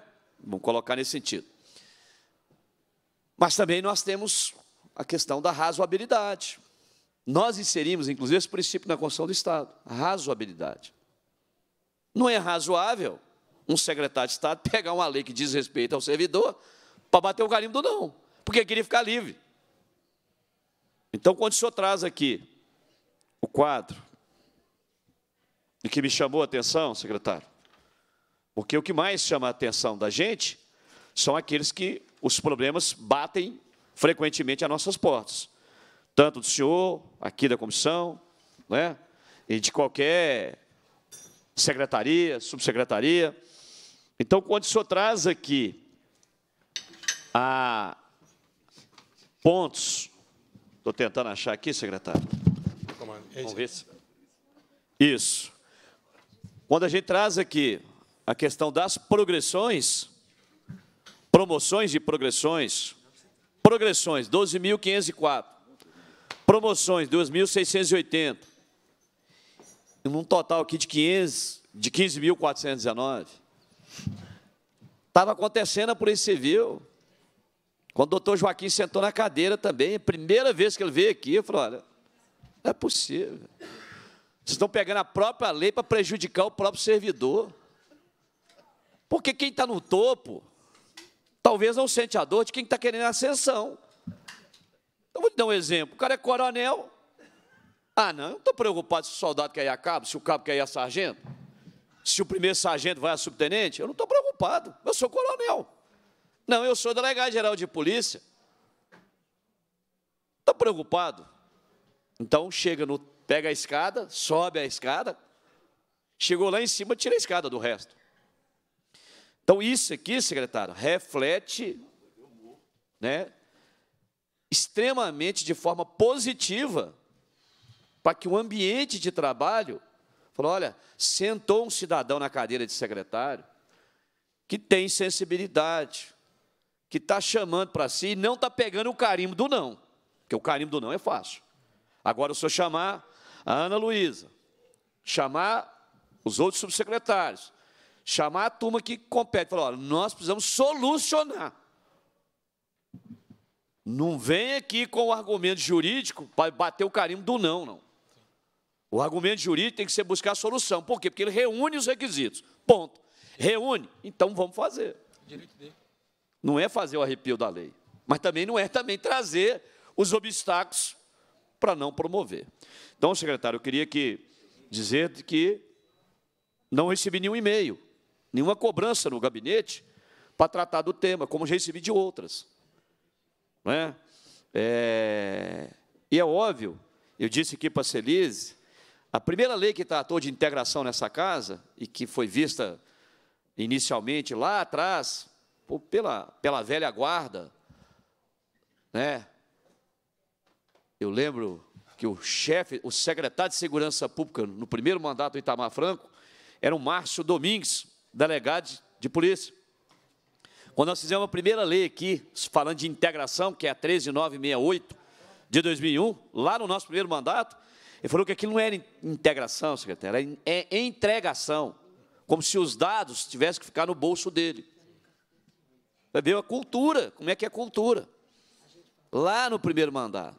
Aí você, tem uma viatura, você tinha uma viatura da Polícia Militar, de madrugada, um cidadão suspeito, ele não deveria estar naquele local, pelo horário, pelo dia, por tudo. E pela perspicácia da ação policial, e eu falo isso porque eu exerci esse tirocínio, essa perspicácia ao longo de anos, abordando pessoas na rua. Então, separava a pessoa. Aí, Celise, o cara podia te entregar identidade, passaporte, CPF, tudo, que você não saberia se ele era foragido ou tinha mandado de prisão em seu desfavor. Aí nós aprovamos a lei. Esse era a entregação que o secretário estava falando. A viatura comunicava o 190 via rádio. Isso é, eu, eu vou falar isso, secretário, enquanto eu for deputado nessa casa. Porque eu trabalhei tanto na rua quanto lá no 190. Eu fui rádio operador. Aí a viatura ligava, viu, Bruno? A viatura da Rotan estava lá. Pegava o rádio, Ô, Copom, estou aqui com um indivíduo suspeito, assim, assim, assim. Ele está me dando o um nome tal, assim, assim, assim. Ou ele está com um documento. Aí, secretário, lá dentro do prédio do Copom, aqui na Praça da Liberdade, aqui, João Leite, no QCG, tinha um telefone que você tirava ele do gancho e apertava só um botão, caía na CEPOLC da Polícia Civil, que era do outro lado da praça. Aí, bom dia, boa tarde, boa noite. Aqui é o sargento fulano de tal. Nossa viatura está com um cidadão assim, assim, assim, assim, assim. Tem jeito de saber se tem mandado de prisão ou se ele é foragido? Sabe qual era a resposta, secretário? Ah, o delegado está aqui de plantão na CEPOC, não autoriza, não. Obrigado. Não. O que eu estou falando aqui era o que realmente aconteceu. E o assessor Gilberto aqui, ó, comandou a viatura rotando também, junto comigo. Lá no meu gabinete tem vários que trabalhou. Era desse jeito que acontecia. O dado era de quem? O dado é da sociedade, para servir a sociedade, ou o dado. É? Como nós resolvemos aqui o problema, secretário? Com o senhor. Com o vídeo monitoramento. Que o, o adjunto da Sejusp, que eu nem me lembro mais o nome desse cidadão, que devia ser banido lá também, esquecido, não queria que a polícia militar pudesse acompanhar o monitoramento. Pá, mas a força policial primeira que vai chegar é quem? O Divino Espírito Santo? Não, é a Polícia Militar. Ah, não, ele invocou uma resolução do CNJ, porque isso viola a privacidade do preso. Ué, mas o preso, na hora que foi aceitar a tornozeleira, não aceitou o monitoramento? Porque ele aceita o monitoramento. Então, são, esse, são essas coisas, secretário, que emperram na administração pública que enquanto não chega alguém fala, vamos fazer. No caso do vídeo de monitoramento, tivemos que aprovar outra lei, viu, Celise? Aprovamos outra lei. Tivemos que aprovar outra lei. O deputado João Leite acompanhou de perto aqui todos os passos. Então, secretário, a gente percebe o esforço que o senhor veio fazendo junto à pasta. Eu tenho aqui poucas perguntas para fazer ao senhor, Algumas serão formalizadas em ofício, estão sendo preparadas aqui, porque ainda né, tem algumas respostas ainda que ficaram pendentes, mas a gente percebe o esforço. Eu falava com a Celise, e eu dei esse exemplo aqui da viatura, da falta de dado, do vídeo empoderamento, para trazer o tema integração, gente. Sim, fundamental. Não existe ação de polícia em órgãos da mesma extração, do mesmo ente, que não se comunicam porque isso é um modelo burro de se fazer segurança pública. E a integração foi o primeiro ponto abordado pelo secretário. Como é que você capta uma informação desse sistema prisional, doutor Elcio, para passar para a polícia judiciária investigar de fato que vai acontecer o que está acontecendo, como o de Varginha? Se uma não comunicar com a outra. Às vezes é o preso do PCC que está dentro da unidade prisional que sabe da informação e por algum motivo teve acesso a um meio de comunicação, que é preso, né? O IPL, né? É o IPL. É o indivíduo privativo de liberdade. Doutor Sami, indivíduo privado. privado de liberdade. Então, o cara que é casado, por exemplo, enquadra nessa situação, então. Porque às vezes a mulher dele não deixa sair de casa. Sim. Quando a mulher é muito brava, por exemplo, doutor Elcio. Então, ele é um indivíduo privado de liberdade. Não, não estou falando a minha, não. Estou falando um exemplo hipotético. Tem mulher que não deixa o marido sair de casa. Então, é IPL, então. Né? O secretário trouxe com uma sigla aqui, João. Ele perguntou, o que é isso? Ele falou, indivíduo privado, porque não pode falar preso. Eu falei, nessa comissão aqui não tem esse negócio não, né, Bruno? Aqui não. Aí eu dei o um exemplo, Bruno. Celise ficou assim meio assustado. Eu falei assim, pois nós temos o chefe da maior organização criminosa que assaltou os cofres dos países, diplomado, deputado, diplomado presidente, chefe da maior organização criminosa que assaltou os cofres desse país. Aí eu falo, ué, mas se eu ainda não tenho ainda, se bem que a gente não, a gente não sabe se tem agora. Mas não. É, tem não, né, secretário? Acabou a imunidade material e formal, né? Então agora parece que acabou. Diz que o ministro, né, o, o Deus do Supremo, Alexandre Moraes, não pode ter mais, não. Né? Porque ele não é ministro do Supremo, ele é Deus do Supremo. É diferente, viu? A diferença é ministro e Deus do Supremo. Então, o senhor Alexandre Moraes virou, foi Deus do Supremo. Então, o secretário, quando a gente abordou essa questão, nós tivemos um episódio lá em Itamonte. O senhor lembra, doutor Elcio? A ação de inteligência da Polícia Civil de São Paulo, Polícia Civil de Minas Gerais e Polícia Militar. Nove criminosos mortos no confronto na cidade de Itamonte, lá na divisa. Isso chama-se integração. Sim. Por que, que o, o novo cangaço teve essa redução? Porque eles viram que aqui em Minas Gerais a conversa é diferente, a reação é diferente e as forças se antecipam. Isso chama integração, gente. Então, uma coisa que não pode, não, não tem retorno, secretário. Esse ponto eu quero aqui destacar, a presença do lá reforçou muito o que não acontecia na gestão do general. Até pela própria formação que ele teve, estava mais preocupado com outras questões do que realmente a ação de polícia de um serviço operacional. Carteira. Tem coisas que, ah, mas alguém acha que é, que é uma coisa simplória, é porque você não é o policial penal e não está com a sua carteira. O dia que você for, eu falo isso porque eu passei por isso. Nós éramos soldados, Valéria, a gente não tinha carteira de polícia, né? A gente era soldado, não tinha. A minha carteira de polícia só foi ter era, quando eu era sargento. Como se o cabo soldado não fosse polícia. Quem exerce o verdadeiro poder de polícia na rua? Não são os que estão atrás da mesa. É quem está na rua, no fronte. Carteira de polícia. Conversamos sobre isso, né, secretário? E o secretário falou, senhor, secretário, da comissão o senhor terá total apoio. O secretário chamou para si a responsabilidade para constar Polícia Penal. Aqui. E fez. Para escrever na carteira dele, funcional, Polícia Penal. São detalhes que impactam na atividade. Porque quando ele é abordado por uma outra força policial, ele não tinha como se apresentar.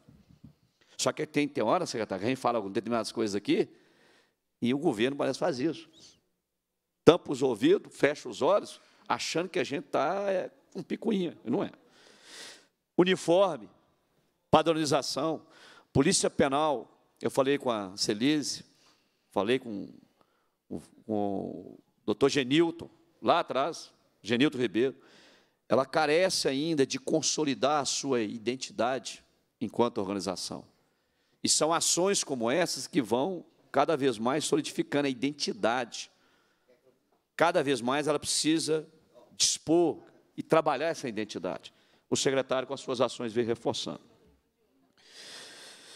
Por fim, secretário, nós temos aqui duas perguntas que eu ainda quero deixar aqui para o senhor.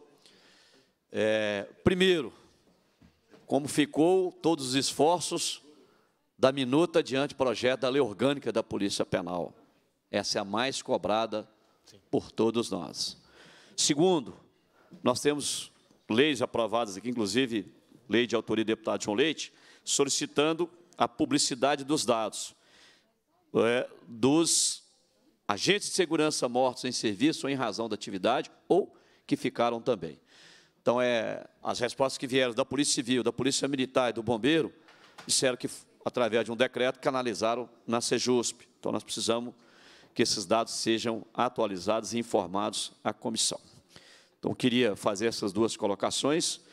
É, agradecer a presença do nosso primeiro vice-presidente da Assembleia, o deputado Antônio Carlos Arantes, faz presente, do deputado Bruno Engler, também membro efetivo da comissão, e do nosso timoreiro, deputado João Leite. Passo a palavra ao secretário. Obrigado, deputado. Com relação à primeira pergunta, me fugiu a... Os dados né, relativos aos índices de criminalidade policiais mortos em serviço. Ah, é, é, isso a gente... É uma lei. Existe, eu, eu, vou, eu não tenho exatamente conhecimento sobre isso, deputado, mas é, é fácil resolver. Essa está então, é... num requerimento anterior, secretário, Sim. que trata de uma lei de minha autoria e é aperfeiçoada pelo deputado João Leite, num segundo momento, também de uma lei de, de autoria do deputado João Leite, e que ela nós nós vamos não, nós vamos entregar para o senhor aqui, okay. inclusive em mãos, o ofício, para que os dados possam ser encaminhados à comissão.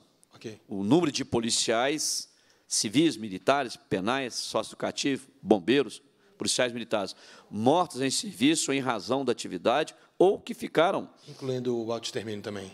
Também. também. Okay. É, tudo está na mesma lei, ah. são dados que a comissão precisa ter acesso. Sim. E as outras instituições canalizaram que, em virtude do, do decreto, eles foram para a, a pasta do senhor, ser consolidada na pasta do senhor. Okay. Eu passo aqui, ó, secretário. É a... São duas leis. Uhum. Uh, medidas adotadas pela Sejur para publicar anualmente o número de policiais penais, agentes de segurança social mostram feridos em serviço em razão dele. Sim. A Lei 23871 de 2021, uhum. é, que altera a Lei 13772 de 2000, a qual dispõe sobre o registro de dados de violência e okay. criminalidade. E também a Lei 23754 de 2021, uma outra lei, que altera também a, a, a Lei né, 13772, a qual dispõe sobre o registro e a divulgação de dados relativos à violência e criminalidade. Ou seja, nós temos dois dados aqui, dos principais, dos delitos mais graves, os crimes violentos, que estão é, aqui, e também os dados sobre é, os agentes de segurança, né, que de forma mais, mais ampla, Tranquilo. É, que foram mortos em serviço ou em razão da atividade. Não, obrigado, Respostas de outros órgãos de, direcionaram que o decreto estadual. É, por força do decreto, o governo baixou o decreto para não ficar os dados, é, os dados, ficaram centralizados na Sejusp. Pode ficar tranquilo, deputado, que a gente vai enviar o mais rápido possível. E com relação à comissão, é, basicamente só falta um detalhe para que ela realmente comece o trabalho, que é a inclusão. Nós estamos vendo lá a inclusão de, de um sindicato de agentes do socioeducativo que fizeram essa reivindicação, uhum. e fazendo isso a gente já começa os trabalhos. Ok. Indago a deputada Celisa Viola se deseja fazer uso da palavra. Bom dia eh, a todas, a todos aqui presentes conosco. Eu quero cumprimentar de forma muito especial meus colegas, deputado Bruno Engler, deputado João Leite, irmão, né, João Leite? o presidente desta comissão, deputado Sargento Rodrigues, que desde que eu cheguei aqui na casa é o presidente dessa comissão e conduz de forma, é, eu não vou dizer exemplar é pouco, Rodrigues, de forma é uma dedicação, é uma coisa tão impressionante que eu acho que todo mundo aqui na casa olha para você e enxerga a Comissão de Segurança Pública né? É um trabalho, é uma dedicação assim. Eu acho que o mandato dele é totalmente dedicado à segurança pública, a esse trabalho, e isso faz uma grande diferença, Rodrigues. Eu tenho dito que, como estava conversando com o nosso adjunto da Segovia, Gustavo Correia, essa semana, sabe? E ele me perguntou assim: como você está? Eu falei, num climão de despedida. Porque é o momento. Né? Então, eu estou fazendo praticamente as minhas últimas reuniões em comissões. E eu não poderia deixar de dizer aqui a importância que tem essa comissão no, no, nosso mandato, meu mandato, essa comissão é muito forte, muito significativa, porque eu trabalho muito ligada à segurança. E o presidente dessa comissão, o trabalho que ele faz, o envolvimento que ele tem e o comprometimento que ele tem com a comissão que ele preside e, claro, com o público dele, que é a segurança. Parabéns, Rodrigues. É, eu não sei dizer o quanto foi especial estar com você esses oito anos. Eu quero cumprimentar aqui todo, toda a equipe do secretário. Ana Luísa, a Flávia, a Ana Clara, o Cabo Alberto e também nosso querido Samir lá da Segov. Eu tenho dito, secretário, que às vezes as pessoas já têm me confundido com a Segov. Eu fico sem saber se eu sou da casa, se eu sou da Segov. E como muitas vezes também me confundo se eu, se eu sou mais assessoria ou se eu sou mais parlamentar. Então, é, fica aí essa confusão. Secretário, o que, que eu posso dizer do secretário Rogério Greco? A gente já é, é, é, fã, mas tão fã, tão fã do secretário, do trabalho dele, eu, meus filhos, é uma coisa assim muito bacana. E eu digo que só mesmo um governo desse, Rodrigues, esse governo que eu faço parte desde o início, para ter um secretário desse na segurança pública, uma Obrigado. celebridade nacional conduzindo a segurança pública. Então, é assim, uma alegria para mim muito grande ser parte disso tudo, de todo esse contexto, eu que já estou me despedindo. O que eu tenho para dizer muito é agradecer essa diferença no trabalho com relação à capacitação dos servidores, a diferença que isso fez. Dizer, presidente, essa, essa, esse incentivo à produção, por exemplo, as mulheres presas. Eu tenho um problema na região que o secretário sabe muito bem e dou dor de cabeça para ele que é a dificuldade do presídio feminino. Ninguém quer as mulheres, ninguém quer as mulheres nem presas, viu, Rodrigo? nem privadas de liberdade. É. Desculpa. ninguém quer, viu, João? Problema, não consegue levar. Então, eu estou trabalhando para que tenhamos na nossa região o presídio com muita dificuldade, porque ninguém quer, mas o que, que eu a gente está conseguindo vencer, junto com essa secretaria que faz um trabalho espetacular, e por isso a gente vai conseguir, que é a capacitação e a preparação para o mercado de trabalho. Então, a gente levando a fabricação das fraldas e dos absorventes, nós vamos conseguir instalar Sim. em um dos nossos municípios um presídio exclusivamente feminino. Se não fosse esse trabalho, colocar o preso e a presa no mercado de trabalho, sem dar a ele, né, é, tentar reintegrá-lo à sociedade, mas sem dar a ele regalias que não, não contribuem para a real socialização, é, está fazendo a diferença. E, com isso, a gente vai conseguir. Né? Então, vamos conseguir também dignidade para as presas, que é importante. Mas o principal secretário, disso tudo ainda é, e é nesse ponto que eu quero que o senhor detalhe mais um pouco o cuidado com o servidor do sistema prisional. Por que, que eu digo isso? Porque eu acompanho muito de perto e sei que a saúde mental dos servidores dessa área é um ponto muito sensível e vocês que estão para entrar saibam disso. É, é muito difícil trabalhar nessa área. É uma área muito sensível, né, presidente? Muito sensível. E a identidade de vocês, como o presidente me disse aqui de uma forma muito correta, fácil de assimilar. Ô, gente, me perdoa, o deputado Antônio Carlos Arantes, que chegou, que também está conosco, eu quero cumprimentá-lo, e o deputado Arnaldo, viu? Não tinha citado o nome deles, mas eu quero é, é, dizer, eu comentava aqui com, com o sargento Rodrigues, a, a necessidade que vocês têm de, da identidade, né, Rodrigo, de se sentirem como policiais penais, a importância que vocês têm para minimizar esse problema, e eu sei que isso está sendo feito. Eu vi o secretário falar ali do, do Centro de Atenção Biopsico, psicossocial, a importância que isso tem também nesse trabalho, mas eu queria que detalhasse, porque é uma preocupação muito grande que eu tenho com o autoextermínio e com a, a, a dificuldade de se manter com a saúde mental é, em bom estado, trabalhando no sistema prisional. A gente sabe que é uma área sensível, que é uma área difícil, né?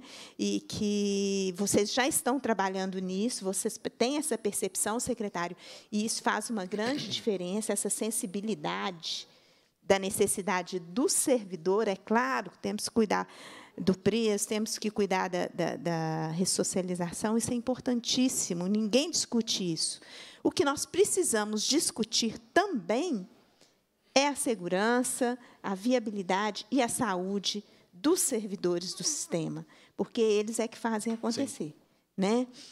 Então, parabenizar por todo o trabalho que foi feito, agradecer pela parceria, dizer da importância que foi para o meu mandato tê-lo como parceiro, ter essa secretaria com essa equipe maravilhosa trabalhando e ajudando a gente a resolver os problemas, que não são poucos, os problemas que a segurança enfrenta. E pedir, secretário, uma maior ainda uma maior atenção nesses pontos Sim. e pedir que o senhor detalhasse mais o que, que o senhor pretende ainda mais hum. para essa segurança do servidor de uma área tão sensível e que enfrenta esses problemas que são realmente abalam a saúde mental do, do, do servidor. Obrigada por tudo, Obrigado. secretário. Deputada, primeiro dizer que foi uma honra, foi um prazer enorme trabalhar com a senhora esse tempo e que já está fazendo falta, viu?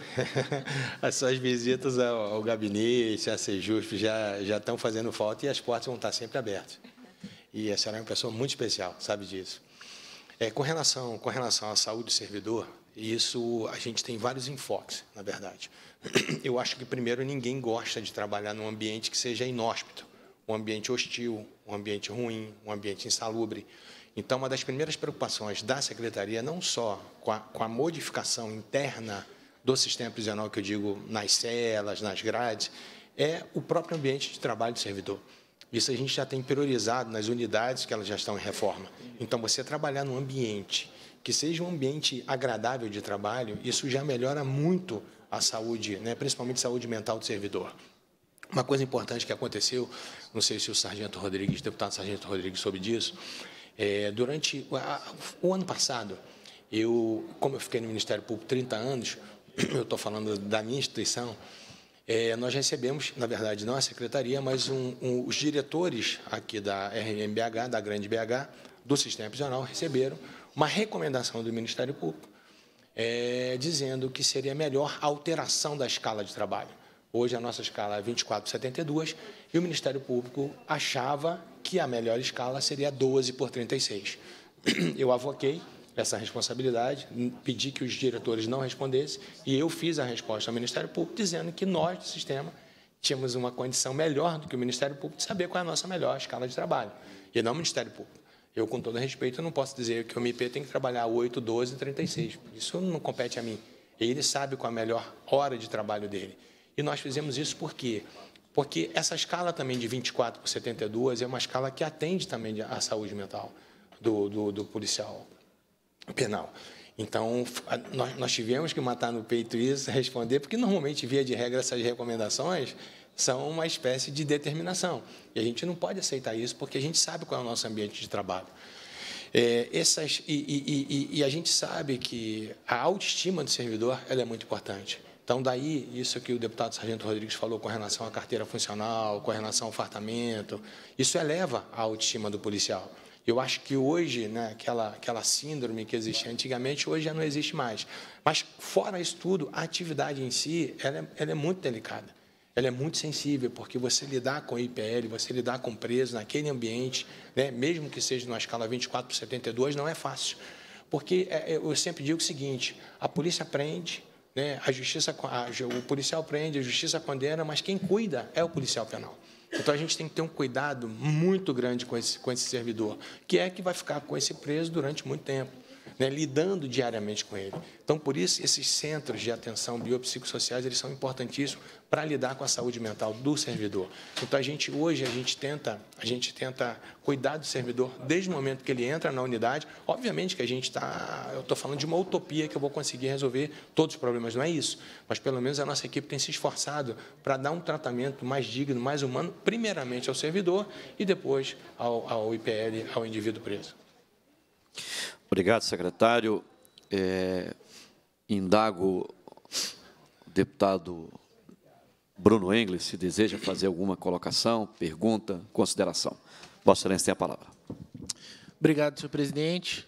Primeiramente, cumprimentar o secretário, os colegas deputados, todos que estão aqui acompanhando a reunião. Dizer, secretário, que eu estive acompanhando a reunião é, e que aqui nessa comissão pode chamar de preso, pode chamar de bandido, pode chamar de vagabundo, pode chamar de marginal, pode chamar da maneira que o senhor quiser. Aqui não tem essa frescura, não, até porque a gente sabe bem de quem que a gente está falando. É, eu queria só, de maneira muito breve, parabenizar Vossa Excelência Obrigado. pela explanação, pelo trabalho. A gente sabe que é um trabalho muito bem feito que o senhor faz à frente da Sejusp. E eu sei que já foi abordado aqui pelo senhor, mas queria apenas aproveitar a mesma oportunidade para reforçar o pleito dos aprovados. A gente sabe que, como todas as categorias da segurança pública, há um déficit muito grande de pessoal e é difícil para o policial penal fazer trabalho, às vezes por dois, por três, porque falta um companheiro ali ao lado para estar ajudando. Infelizmente, tem uma visão que são pobres coitados, pessoas em conflito com a lei, ou sei lá que, que nome que eles inventam, ou que então é o pessoal que rouba só para tomar uma cervejinha, né? Mas a gente sabe a dificuldade que a policial penal está lidando com os criminosos na ponta da linha. Então, só reforçar esse pleito mesmo, eu sei que a Secretaria do Senhor já está fazendo o possível e o necessário, mas é muito importante a gente aumentar o efetivo da nossa Polícia Penal. Não, obrigado, deputado Bruno Engler. É, é uma honra participar dessa, dessa Assembleia com Vossa Excelência.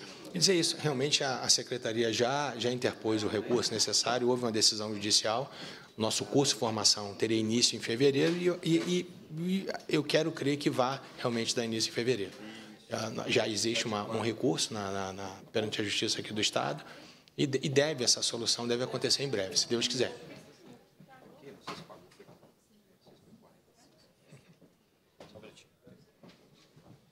Agradecemos a participação. A presidência registra agradece a presença também do colega deputado Arnaldo Silva, o nosso Pontal do Triângulo.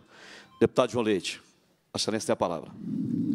Muito obrigado. Queria saudar o nosso presidente, deputado Sargento Rodrigues, e também o nosso querido secretário, meu irmão Rogério Greco, um prazer revê-lo.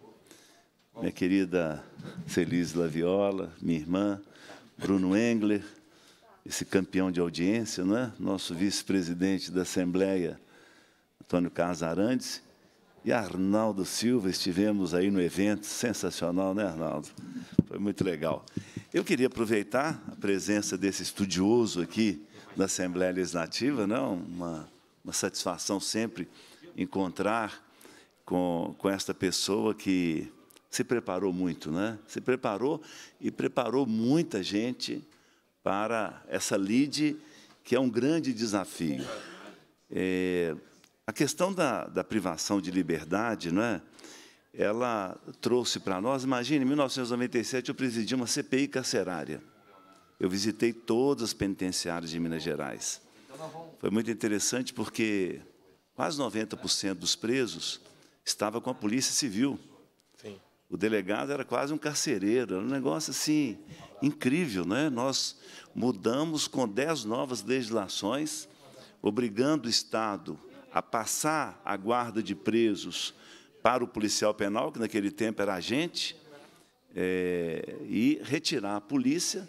Imagine, secretário, nós tínhamos uma companhia inteira da Polícia Militar nos muros da penitenciária Nelson Gria. Nós tiramos uma companhia da Polícia Militar. Não é lugar de policial militar os muros de uma penitenciária. Então, nós fomos acumulando muitas informações, eu me lembro também quando nós, eu presidi também a CPI do Detran. Foi outra coisa pesada, né? Quase morri. meus filhos tudo sob proteção, minha mulher, foi, foi pesado. E nós, nesse tempo, secretário, nós trouxemos aqui o chefe da polícia de Nova York. O homem, não era ele, foi um policial de rua, policial na rua, que começou esta questão vendo uma janela quebrada no serviço dele. E ele viu que a janela quebrada e teve o cuidado de anotar e passar para os chefes. No outro dia, ele, no, outra, no outro plantão dele, ele passa, a porta da casa já estava arrombada. Na outra semana já tinha morando, já gente morando na casa. E então, o que aconteceu? Nova York mudou. Rudolfo Giuliani, eu li o livro dele, e o chefe de polícia nos contou que Rudolfo Giuliani queria tirar os borradores das ruas. Quem são os borradores? Aqueles meninos que você emociona quando eles chegam, porque eles vão passar alguma coisa no para-brisa do seu carro e vão limpar. Então, Rudolfo Giuliani falou que não queria os borradores nas ruas mais. E falaram com ele: não, o senhor é procurador do Ministério Público, doutor Rudolfo. Senhor sabe que não pode, é direito de ir e vir. E ele ficou batendo aquilo na cabeça. Mas direito de vir na rua? A rua é da pessoa? Não, a rua é da pessoa nas faixas. E fora das faixas? Não, não é da pessoa, não é do carro. Então, através disso, ele conseguiu retirar os borradores das ruas, os limpadores. E o que, que ele descobriu? Que Nova York era uma cidade indisciplinada. Podia usar droga no metrô, não precisava pagar a passagem do metrô. E nós estamos fazendo, deputado Sargento Rodrigues, fica até chato de falar tanto isso. Nós somos um povo indisciplinado. Indisciplinado. É impossível, por exemplo, você falar que um preso tem que ter disciplina. Eles sonham por disciplina, porque eles não foram disciplinados em casa ou moraram na rua. Eu vou no Dom Bosco, fui no Dom Bosco algumas vezes, e quando eu chego lá, os meninos põem a cabeça para fora da grade.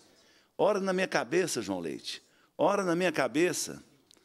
Nós chegamos um tempo, e aí é, alguns membros do Ministério Público, da Defensoria, eles, de alguma forma, assumem isso.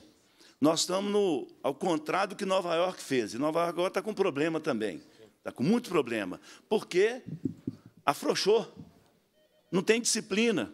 Sargento Rodrigues tem a cabeça melhor do que a minha, é, para números, ele é. Eu fui candidato a prefeito enfrentando ele. Esse trair, a primeira coisa que ele fez foi perguntar para mim, é, deputado, qual que é o índice mesmo de homicídio em BH? Eu falei, puxa vida, ele tinha que fazer essa pergunta para mim, né? dos números, né? Bom, mas ele vai lembrar que nós tivemos uma audiência com a Polícia Militar aqui. Quantos por cento de homicídios no hipercentro de Belo Horizonte são cometidos por quem mora na rua? Quantos moram na rua em Belo Horizonte hoje? 14 mil pessoas, Gilberto. 14 mil pessoas moram em Belo Horizonte na rua.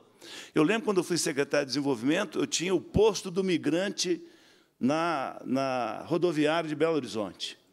Chegou, de onde você é? Ah, eu sou de Recife, estou indo para São Paulo, mas eu não tenho dinheiro para continuar ao, ao vale aqui. Pegar o 11 da Cometa aqui e vai parar lá em São Paulo. Não ficava aqui. A grande maioria das pessoas, quando eu faço campanha em Belo Horizonte, vou andando e vou perguntando quem mora na rua, de onde que é, Cabo Frio. Mas a maioria do Nordeste brasileiro, o destino deles é São Paulo, mas eles não chegam. Outra coisa impressionante, meu filho morava no Rio, jogava futebol no Rio. E eu e minha esposa perdemos o avião, fomos visitá-lo e fomos pegar um ônibus para voltar para Belo Horizonte. Eu estou assim, ele é 10 centímetros maior do que eu, meu filho, né? E foi levar a gente na rodoviária, Novo Rio. Chegamos lá, um homem me aborda, e aí eu começo a conversar com ele e tal, não sei o quê. Ele ficou apavorado, né? Veio correndo, aquele monstrão. O que está acontecendo? Não deixa que eu estou resolvendo. Era um cara que cumpriu a pena, saiu da cadeia no Rio de Janeiro, Antônio Carlos, e queria uma passagem para. Queria uma passagem de ônibus para. Eu vou lembrar o nome da cidade, perto de, de Rio das Ostras. Ele queria uma passagem. Aí eu falei assim: vamos ali no, no segurança. Aí eu perguntei, onde é o posto do migrante aqui? Não, não tem isso aqui não, é Secretaria de Assistência Social, lá no centro. O cara queria uma passagem para a cidade dele, sem um centavo, depois de cumprir pena. Aí eu fui lá e comprei a passagem para ele com cartão, e meu filho apavorado. Filho, se fosse mentira, ele ia falar que ele cumpriu pena? Não é? Ele não ia falar isso. Então, nós estamos desorganizados. Ah, é culpa do secretário, do nosso staff, da secretaria, é do sócio educativo, é do policial penal? Não, é da arrumação da nossa sociedade e do poder público, especialmente. Nós temos nisso aí evasão escolar. Pega os jovens que estão no sócio educativo, eles não sabem o que é disciplina. E viver na rua é muito legal, não tem a disciplina da casa. Ah, na nossa casa não pode usar droga. Na nossa casa tem hora para chegar. Na nossa casa a porta fecha. Eles não querem isso, querem a rua. E hoje são animados pelo pensamento do Ministério Público, da Defensoria Pública, estão animando isso. Então, nós temos uma cidade, um país totalmente desorganizado, e que pessoas podem chegar na cara de um policial e xingar o policial. Meu pai foi policial, meu pai era um homem respeitado, ele passava na rua, Todo mundo respeitava naquele tempo, que eu era criança. Hoje está tudo desorganizado. E o problema, a culpa é do sócio educativo, a culpa é do policial penal. Não é, não. A culpa é da escola, a culpa é da família, a culpa é do Ministério Público, a culpa é da Assembleia Legislativa. Nós criamos leis que abriram tudo, não é? Então, essa indisciplina, ela está sendo apoiada. Outro dia tivemos a invasão de uma casa na rua Santa Catarina, talvez os metros mais caros de Belo Horizonte. Sete crianças estão vivendo naquela casa. Sete crianças. Outro dia foi o conselho tutelar na porta do quartel para falar com os pais que ia tomar as crianças dos pais. Cadê o pátrio poder nesse país? Tem um lugar mais disciplinado que a porta de um quartel? Eu fui soldado do Exército Brasileiro. Porta do quartel, lugar organizado. Eles estavam com os filhos lá, assumindo o pátrio poder deles, fazendo manifestação e cuidando dos filhos. Agora, sete crianças, que a gente não sabe de quem são, estão lá e pode. Sete crianças, pode. O poder público permite isso. Então, é um momento sério do nosso país.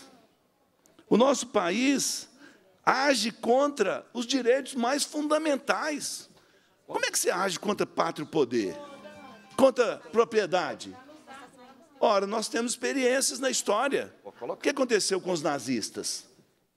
Identificaram a moradia do judeu, tomou a casa dele, mandou o pai para um campo de concentração, a mãe para o outro, a criança. Eu fui em Jerusalém, no Museu do Holocausto. Você entra em um lugar totalmente escuro, começa a aparecer umas estrelinhas. Samuel, Davi, o nome de um milhão de crianças que foram mortas quando os pais perderam o pátrio poder. A família perdeu a propriedade. Olha para onde que nós estamos indo. E hoje fica o secretário, fica o governo, assim, na corda bamba. É, crítica de tudo quanto é lado. Vocês têm que resolver esse problema. Como é que resolve? Com disciplina com disciplina, não dá para aceitar, não dá para aceitar essa maneira de viver. Tem que ter disciplina. Então, tem que haver uma predominância da disciplina na vida das pessoas. Ora, eu lembro de um promotor de São Paulo. Foi buscar o pai. O pai abandonou a mãe e o menino está fora da escola. Prende o pai. O promotor falou: prende o pai. Pai, não, eu vou resolver. Põe esse menino na escola. Mas não é pôr ele na escola e não acompanhar, não. Ir lá e acompanhar também. Querido Antônio Casarantes, esse é o momento do nosso país, do nosso Estado. Como é que vai conseguir? Nós temos que ter uma mudança, mudança de mentalidade. Está errado essa situação. Então, eu queria dizer que nós avançamos muito na organização do cumprimento da pena? Eu, eu fico, às vezes, preocupado. Ah, tem que diminuir a idade penal. Não. Tem que passar por uma avaliação psiquiátrica.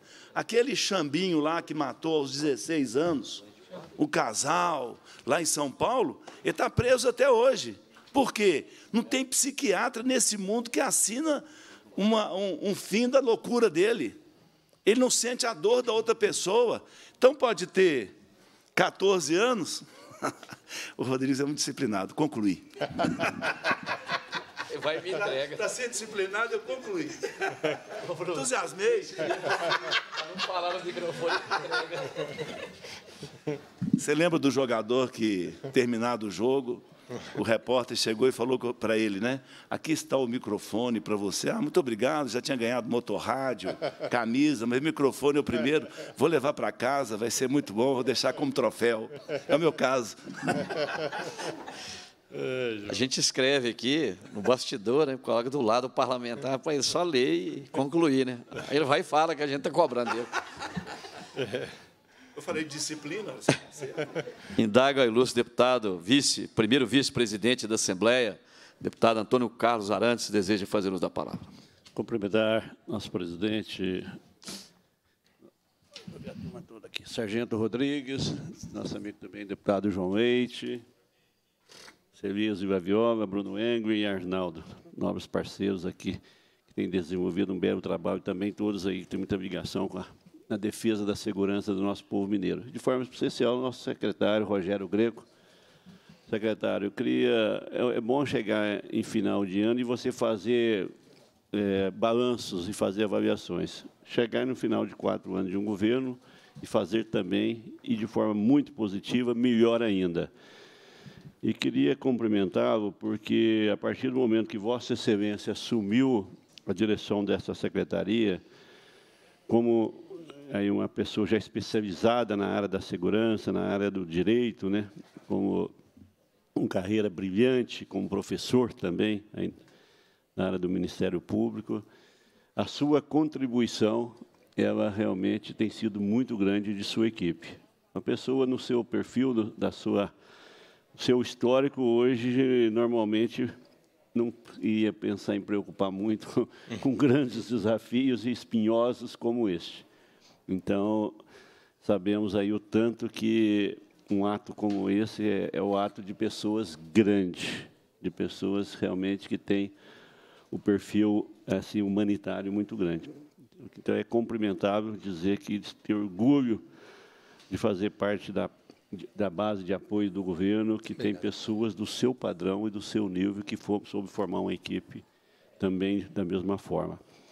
Sabemos o tanto que melhorou e o tanto que avançou. Mas é impressionante a tal da criminalidade. Né? A gente fala que é igual tiririca. Né? Você poda ali, corta, acha que tá, ali está resolvido, vamos para frente. No outro dia você vai para trás e está brotando de novo. Né? Sim. Aí, secretário, eu não sei o que está acontecendo, mas de uns 30 dias para cá, eu não sei se tem alguma coisa a ver com eleição, sei lá.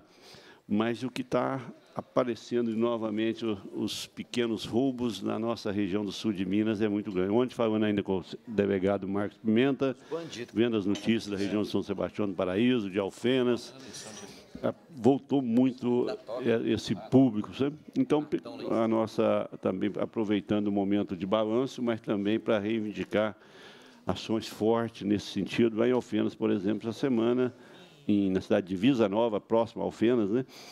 Lá o, a, o comando militar pertence a Pós Caldas, apesar que está mais próximo de Alfenas. A Polícia Civil também. Mas era muito importante se puder dar uma, uma chamada lá na região, lá, porque uhum. realmente tem tido uns problemas muito sérios, principalmente com os produtores rurais. Bastante roubo no campo novamente. E, e, como das outras vezes que acontecia isso, havia ação forte da polícia, o resultado Sim. era imediato, a nossa solicitação nesse sentido. E também fazendo cura aí a palavra dos nossos parceiros anteriores, nossos nobres deputados e deputadas, quanto também aí a evolução das contratações também, não só é, em todos os quadros, né, da militar, da civil também, aí do pessoal também da, da área dos penitenciária também, da mesma forma, a importância é muito grande e a necessidade. Mas, enfim, cumprimentá-lo mesmo, assim, o, manifestar o nosso reconhecimento do trabalho de Vossa Excelência no comando dessa pasta tão importante. Muito obrigado. Obrigado, deputada. Presidência, indaga o deputado Arnaldo Silva, se deseja fazer a palavra. Ok. Secretário, é, ainda temos alguns é, um registro a fazer. Nós falamos aqui da carteira, falamos do uniforme, a carga horária, bem lembrada pelo senhor. O tanto de tranquilidade, Ana Luísa, que a carga horária trouxe sossego, paz para quem está executando a sua missão. Era outro grande incômodo que os é, policiais penais e sócios educativos sempre tiveram. Então, à medida que o secretário edita a resolução conjunta com a CEPLAG, até que nós possamos votar, porque o ideal não é resolução, o ideal é lei, até porque a administração pública é regida, primeiro princípio é por lei. Mas até que é, não aconteça a votação da lei orgânica, né, do projeto de lei complementar que vai dispor sobre a lei orgânica, a carga horária é, um, é uma tranquilidade. Então, secretário, solucione-se o problema das promoções e progressões, solucione a carga horária, questão do uniforme, a questão da carteira funcional, isso tudo traz para quem é o policial. Coisas que a gente muitas vezes tem que fazer audiência pública, cobrar, cobrar, cobrar, cobrar insistentemente. Por isso o senhor está vindo aqui num ambiente completamente diferente nessa audiência aqui do Assembleia Fiscaliza. E, obviamente, tem algumas questões que nos preocupam. Eu já pedi a nossa consultoria para elaborar, secretário. Um outro ponto que é preciso o senhor tratar internamente, aproveitando aqui a parte do seu staff presente na audiência, é a questão de dar dignidade quanto aos alojamentos deles. Inclusive, secretário, eu mesmo tomei a liberdade de ligar para o chefe do DEPEN, o diretor-geral Rodrigo Machado, iniciar tratativas para destinação de emenda parlamentar para a compra de armários. Excelente. Para que armários sejam disponibilizados dentro do alojamento, para que ele tenha dignidade de chegar e pegar, trocar sua roupa. Então, os alojamentos devem ser um alvo é, a ser perseguido pela Secretaria para que o nosso policial penal ou sócio educativo tenha dignidade de chegar na sua unidade e realmente poder trocar de roupa e ter um alojamento decente para trocar de roupa, para tomar um banho ou para fazer o seu pernoite ali ou um momento de descanso por causa do tipo de atividade que ele exerce, né, especialmente aqueles que trabalham na escala de, de guarda, né, que exerce a vigilância da unidade prisional. E aqui, secretário, nós recebemos aqui um memorando que proíbe guarda de armamento nos armados das unidades, ausência de intendência. E aqui o que me, que me deixa meio preocupado é que tem hora que a gente tem gente legislando demais. Sim. Né? Um ofício do Ministério Público, Sim. 19 de setembro de 2022, ao senhor Pedro Juan Leocádio, subsecretário uhum. de atendimento socioeducativo. A letra está muito pequena, Ana, está tão minúscula, eu estou custando a, a fazer a leitura.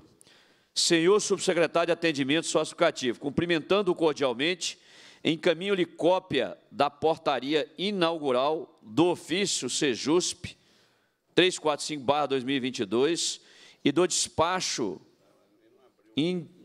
solicitando a adoção de providências imediatas para impedir a entrada de servidores ou terceiros portando arma de fogo nas unidades socioeducativas sob sua responsabilidade, bem como a guarda de armas de fogo nas referidas unidades, informando a esta Promotoria de Justiça no prazo de 48 horas providências que foram adotadas. Atenciosamente, Márcio Rogério de Oliveira, promotor de justiça. Está vendo, deputado João Leite? É. Tem hora que as interferências né, são difíceis. É, eu quero, secretário, dizer para o senhor o seguinte, que o agente socioeducativo ele precisa ter condições de... É, de deputado, eu... Né, ele precisa ter condições de... É, de eu, tenho, eu tenho realmente... Trabalhar. Eu tenho tido é, alguns problemas nessa área da, do socioeducativo, principalmente por conta, especificamente dessa promotoria, Só para você ter ideia, em dois anos, a SOASE recebeu em torno de 200 ofícios a serem respondidos. É um ofício, é um ofício. A minha equipe está adoecida. A minha equipe está adoecida por conta disso. E eu falei especificamente com esse promotor de justiça, relatei esse problema a ele, diretamente a ele. É, muitas atitudes que foram tomadas pela secretaria que eu particularmente acho corretas, como, por exemplo, atender simplesmente aquilo que determina a legislação estadual, que permite que o agente do socioeducativo tenha porte de arma. Não sou eu que determinei isso, foi a lei. E eu fui o relator da matéria, eu aqui na lei. Eu, se, se algum Estado da Federação declarou a inconstitucionalidade, eu não sou tribunal. Eu faço parte do Poder Executivo e eu cumpro a lei. E a lei diz que tem porte de armas, então nós vamos cumprir a lei. Só que um, um, um, um servidor, que é um agente socioeducativo, ele anda armado e ele tem que ir até a sua unidade armado. E ele tem que ter um lugar para colocar essa Acautelar. arma. Acautelar. Ela tem que ficar guardada no cofre. E é isso que nós queremos fazer e o Ministério Público se opõe. Então, assim, é uma guerra diária, infelizmente, com o Ministério Público, porque quer fazer, às vezes, do Poder Executivo. E a gente não aceita isso na Secretaria. Existe secretário, existe um conjunto de pessoas que tem essa função, tem essa finalidade, e nós não abrimos mão da nossa função. E daí começa esse embate. Ainda bem que nós temos o senhor lá, porque com essa postura que não se, é, não. se intimida com esse tipo de. É, eu falo isso, Bruno, a pena que o deputado Dalmo Ribeiro não está aqui. Um dia o deputado Dalmo Ribeiro, deputado João Leite, Vossa Excelência já deve ter ouvido ele falar isso. Ele, o prefeito de Ouro Fino, era um prefeito que era da base de apoio a ele, prefeito, aliás, me parece que é uma prefeita, um dia procurou o deputado e os dois foram lá na, na sede do Ministério Público. É, Arnaldo também tem experiências também bem, bem ruins, né? Lá no, em Uberlândia. É, o Ministério Público, o deputado Dalmo Ribeiro e a prefeita de Ouro Fino, o deputado é que sabe narrar isso melhor, porque ele estava lá, caminhou até a promotoria de justiça, pegou a chave da prefeitura e foi lá e falou, entregar o promotor. Vou entregar a chave aqui para o senhor, porque não tem jeito de ser prefeito aqui no município, não. É exatamente toda hora um ofício. Faz isso, me dá isso, informa isso, faz aquilo. Alto lá, ué. Alto lá, ué. Cada um no seu quadrado. Cada um no seu quadrado. Então, secretário, fiz questão de trazer essa, essa cobrança aqui para o senhor, que o senhor se mantenha firme e no cumprimento da lei. E é bom dizer ao lúcio promotor de justiça, a que a gente sabe que trata, inclusive, os infratores, Bruno, como se fossem anjos, viu? O digníssimo promotor aqui trata o adolescente, né? É, que cometeu o ato infracional, doutor Nelson, análogo ao crime. Olha como é que fica bonito. O cara é bandido. Eu tenho um exemplo aqui que eu vou trazer ele sempre aqui nessa comissão, Bruno. Eu conheci aqui o gerente do PROCON, Alexandre Werneck, um cara bacana, um cara assim, gente finíssima, tranquilo, de boa paz. Foi passar um final de semana com a sua namorada. Serra do Cipó. Aqui na Serra do Cipó. Carro tomado de assalto, quatro indivíduos, dois anjinhos adolescentes estupraram a namorada dele, mataram, queimaram, botaram fogo no carro, que vai lá para dentro e tem pessoas igual o promotor aqui que acham que é só um anjo. Comentei aqui com a Celise, Bruno. João Leite estava aqui na comissão, quando nós trouxemos a mãe do garoto aqui do Gutierrez, deputado João Leite. Se eu não estou equivocado, Mateus, de 17 anos, que outros dois menores de 17 anos levaram o seu celular e cometeram latrocínio. Ela leu uma carta aqui nessa comissão, secretário, que o dia de todos nós ficou arrasado, dela como mãe, fazendo um relato, um desabafo, em lágrimas aqui o tempo todo. Aí chega lá, parece que todo mundo vira anjo. Parece que eles vão lá e colocam duas asas no, aqui nas costas deles e uma auréola. Esse promotor trata esses bandidos assim. Trata desse jeito, como se, se fosse, se não cometesse. Olha o caso do garoto João Hélio. O senhor sabe desse caso. do menino de sete anos que foi arrastado sete quarteirões. Quem estava participando do crime? Anjinhos adolescentes. Então, quando um agente sócio-educativo, quando esta casa, quando o legislativo concedeu o porte de arma, a qual a matéria eu fui o relator, secretário, não é por, por um acaso, não. É pelo contrário. O senhor tem essa experiência, eu tenho como policial, doutor Elcio também tem. Nós temos a experiência, sabe de quê? Que hoje eles são mais violentos, porque sabem que a lei veio para passar a mão na cabeça deles. Ah, mas nós temos uma medida de internação de três anos. Então, Bruno, eu aprendi, pelo menos quando eu estudei direito, que o direito penal ele deveria ser dirigido, sopesado e é, elaborado o tipo penal mediante a gravidade do crime. Não é isso? É. Então, quando é o crime contra o patrimônio, a gente vai dosando a pena o legislador federal foi dosando a pena de forma é, do menor para o maior. Assim também, quando o crime atinge a pessoa. Se esses mesmos menores entrar aqui nessa sala, jogar aqui uma bomba e matar 40, 50 pessoas, continua do mesmo jeitinho. A medida de internação é de no máximo. E não ficam. Não ficam nem mesmo os três anos. Então, o promotor tem que entender que não está mexendo com o anjo. E o, o agente sócio-educativo não está mexendo com o anjo. Muitas vezes são latrocidas, homicidas, que cometeram e estão lá. E aí o agente não pode, mas ameaçado ele pode ser. Agora, qual é a providência quando ele é ameaçado que o promotor toma? Nenhuma? Nenhuma. Deputado Bruno Lengla. Não, eu queria só acrescentar deputado Sargento Rodrigues, a fala de Vossa Excelência. Primeiramente, parabenizar a postura do secretário, inclusive uma mudança muito positiva. A gente já teve problema, né, Rodrigues, com outras administrações da, da secretaria, é, e dizer realmente dessa necessidade. A gente vê, como Vossa Excelência muito bem colocou, que muitas vezes o pessoal do sócio educativo, às vezes, por ter a certeza da impunidade, se torna até mais perigoso do que o pessoal do presídio, que o máximo que vai pegar é três anos.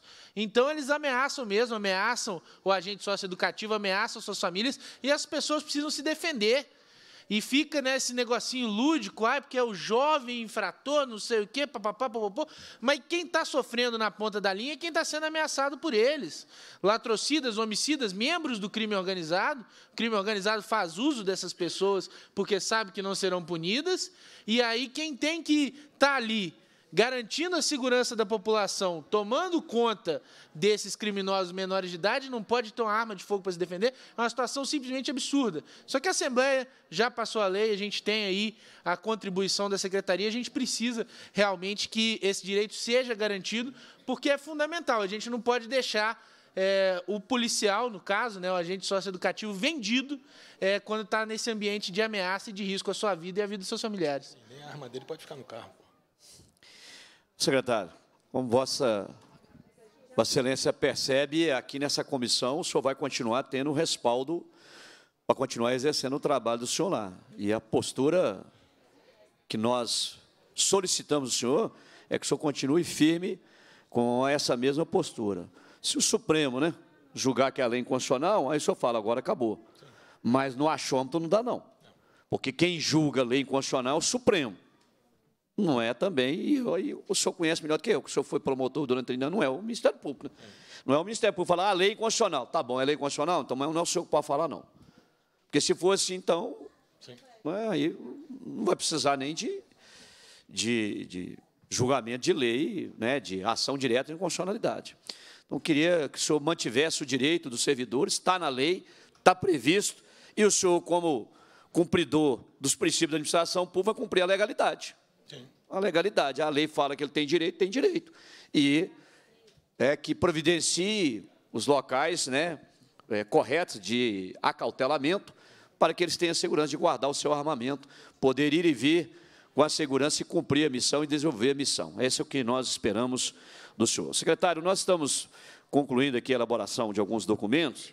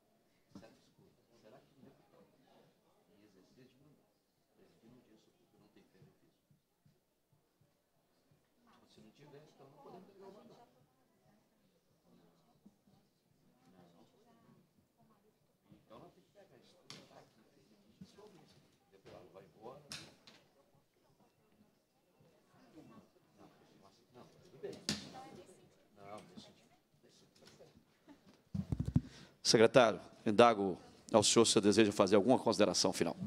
Não, obrigado, deputado. Presidência, gostaria de agradecer a presença do secretário Rogério Greco.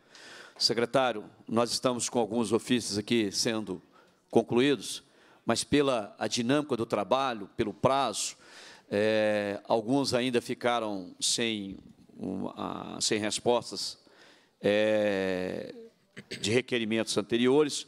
Nós pedimos aqui a consultoria que formate todos eles e serão devidamente protocolados na secretaria. Depois o senhor me informa aqui diretamente objetos desta audiência pública né, e de anteriores, quem receberá esses documentos para que o senhor possa depois responder à Comissão de Segurança Pública. Então, quero agradecer a presença do senhor, agradecer a presença da subsecretária de Gestão, Administração, Logística e Tecnologia, Ana Luísa, da Flávia Santana, assessora de comunicação, da Ana Clara, assessora parlamentar, é, também a presença do nosso subsecretário, da Subsecretaria de Circulação Institucional, o doutor Sami Carvalho Moisés, aqui também presente, agradecer a presença dos nossos parlamentares.